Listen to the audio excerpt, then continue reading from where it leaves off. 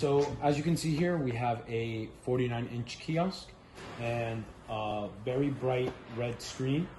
So this is what we call KioWare, and this is basically the software that we install into the kiosk uh, when we give it out to clients, so that if they have a bunch of interaction uh, with their application or with their website or whatever they have posted on the kiosk, people cannot fiddle with the screen and basically exit out of whatever um, is displaying on the kiosk.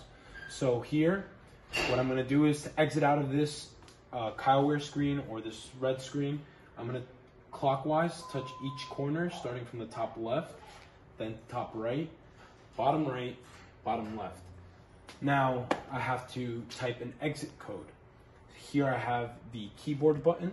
I'm gonna press that. And now a touch keyboard will pop up. Okay, one moment. Go here, okay.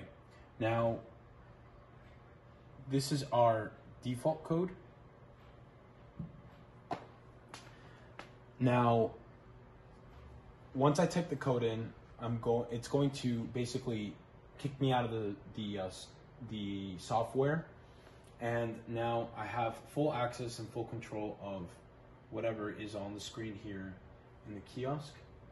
So right now it's not connected to the Wi-Fi, but let's say for example, uh, we configure whatever URL is going to go into the KioWare software. Once that would be finished and set up, then I would go to the KioWare uh, icon here. And then that would open up whatever URL we had configured in the settings. So let's just say I put google.com in the KioWare configuration tool um, settings. Then I would open the actual uh, KioWare software and Google would pop up here, but I would not be able to basically do anything. This just moves like zooming in, zooming out, but that's really it. I can't do anything else.